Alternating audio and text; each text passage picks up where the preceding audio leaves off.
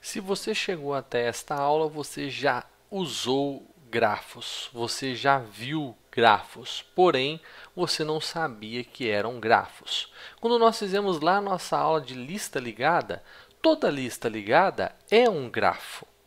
E quando depois nós fizemos mais para frente a aula de árvore binária, a árvore binária e qualquer outra árvore também é um grafo.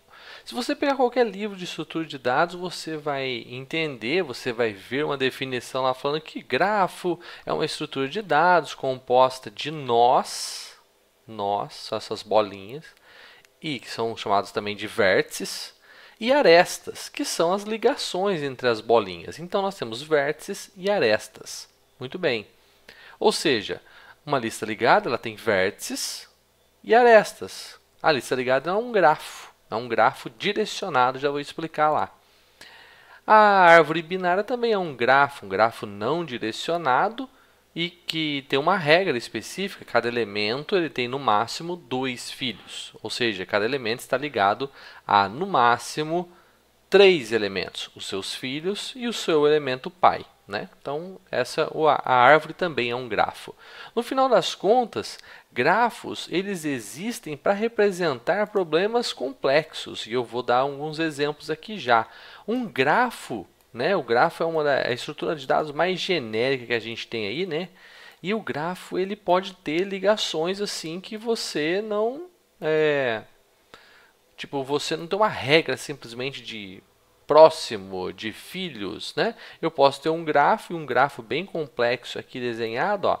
Esse cara pode estar ligado aqui, esse cara pode estar ligado aqui, esse cara pode estar ligado aqui, esse cara pode estar ligado aqui, aqui e tal, beleza? Olha só.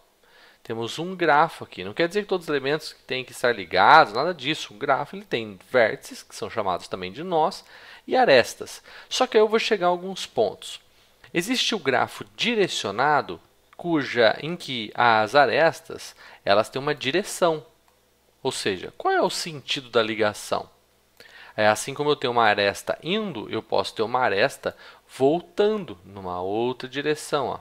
Eu posso ter uma aresta assim. Beleza, maravilha. Certo? Então nós temos o grafo direcionado. Em todas as suas arestas, elas têm uma direção. Mas se nós não tivermos uma direção nas arestas, então nós temos um grafo não direcionado. E também, então, quanto à direção das arestas, nós temos o grafo direcionado e o grafo não direcionado. Quanto à, à questão da, do peso das arestas, nós podemos ter um grafo com peso, não, um grafo pesado e um não pesado, né? um grafo com peso e um grafo sem peso. O que, que é o peso? Pô, o peso é um valor que essa aresta vai ter. Essa aresta vai ter aqui uma informação. Então eu posso atribuir um peso aqui nessa aresta, não necessariamente só um peso, eu posso atribuir um rótulo, eu posso colocar uma informação aqui entre, é, entre dois vértices e eu posso colocar uma aresta com uma informação ali. Então nós falamos geralmente, quando se usa com números, né, esse aqui é o peso da aresta que é o peso da relação entre os dois vértices. Mas falando assim, né, cara, simplesmente estou trazendo aqui primeiro o conceito do negócio, mas tá aí para que serve essa birosca, né? Faço o que com essa porcaria desse grafo? É o seguinte, vou dar alguns exemplos aqui. Grafos são usados, por exemplo, para modelar as ruas de qualquer cidade, as ruas de um GPS. Então eu tenho cada esquina como um vértice ou seja, toda vez que tem uma curva, uma esquina, né, né, uma quebra, eu tenho um vértice. Então, eu tenho um vértice, vértice, vértice, vértice. E aí eu tenho as arestas que ligam os vértices. E observe, pode, as arestas podem ser direcionadas, né? Porque eu posso ter uma mão indo, uma mão voltando, né, cara? Então nós podemos ter duas arestas aqui para indicar o sentido. Não, não, essa rua aqui, essa rua com essa aqui, né, é só um sentido, é mão única. Ah, então eu boto só uma aresta indo, né? Não, não coloco uma aresta voltando. E assim eu consigo indicar a direção. E o que, que eu faço com isso? Pô, beleza, cara, eu quero ir de um ponto a outro. Existem vários algoritmos para grafos, nós não vamos ter aqui no curso, mas você pode pesquisar depois ou me perguntar nos comentários também. Nós temos vários algoritmos e um desses algoritmos, né, um grupo desses algoritmos é, são os algoritmos de caminho mínimo. Como encontrar o caminho mínimo entre dois vértices num grafo? Então existe um algoritmo muito famoso chamado algoritmo de Dijkstra que tem suas diversas variações, existem muitos outros algoritmos para se encontrar o caminho mínimo num grafo com peso. Então, o que, que pode ser o peso? Pô, cara, eu posso botar aqui no peso que o, fluxo, qual é a quantidade de fluxo nessa rua, né? Qual é o, ou qual é a distância entre um vértice e outro, qual é o comprimento dessa rua, pode ser um peso também. Então o fato é que grafos são usados para várias coisas. Eu, eu preciso entender o problema e falar como é que eu boto isso dentro de um grafo. Então eu poderia botar que os vértices são as esquinas e o comprimento das ruas poderia, é, poderia ser aí o peso das arestas. E nós teríamos um grafo direcionado aqui. Vou pegar um outro exemplo que a gente pode usar grafo também. A gente pode usar grafo, estou aqui com os países da América do Sul, para modelar vizinhança. Então eu tenho um nó que é o Brasil, um vértice é o Brasil, um vértice é Colômbia, um vértice é Equador, um vértice Peru, um vértice Bolívia, Chile, assim vai. São vértices.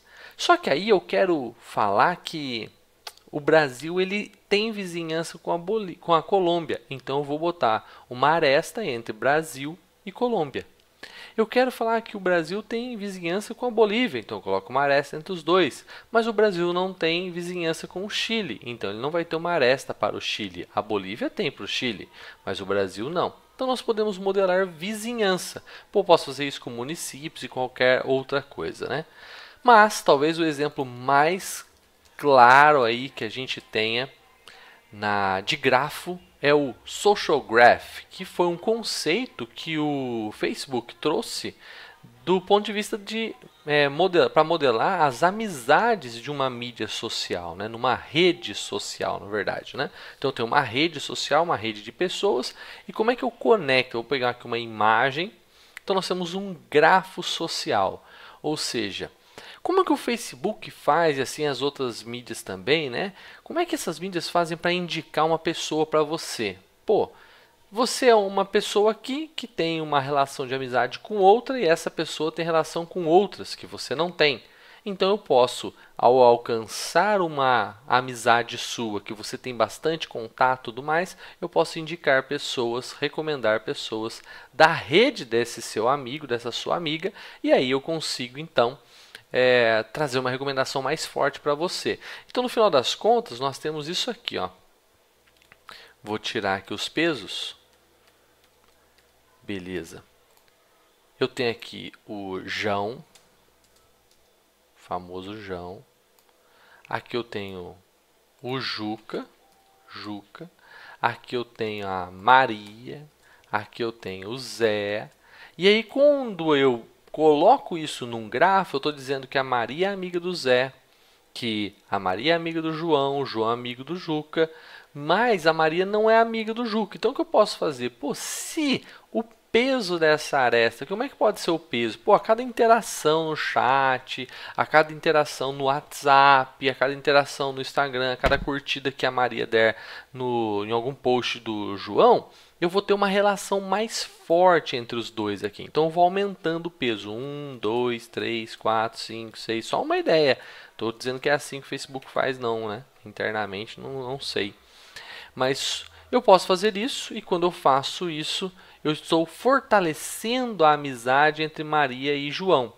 E quanto mais forte for essa amizade, então se a amizade da Maria com o João é peso 10 e a amizade da Maria com o Zé é peso 1, que é um negócio tipo assim, eu conheço a pessoa de vista, então é melhor eu recomendar os amigos do Juca para Maria, porque há mais chances da Maria gostar dos amigos do Juca, os amigos fortes do Juca, né?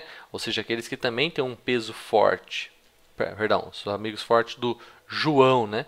Então, aqueles que têm um peso forte aqui na aresta. Então, o Juca, se eu tenho aqui um peso 5 e aqui esse outro amigo tem um peso 2, então, pô, é melhor recomendar para Maria o Juca, porque o Juca tem uma relação forte com o João também, então pode ser que tenha uma relação com a Maria e eles não estejam conectados na mídia. Então eu posso usar diferentes formas para modelar problemas é, diversos num grafo. Esse é o grande lance de grafo. Na próxima aula, então essa é uma aula só conceitual, na próxima aula vamos entrar no código, como implementar o código de um grafo.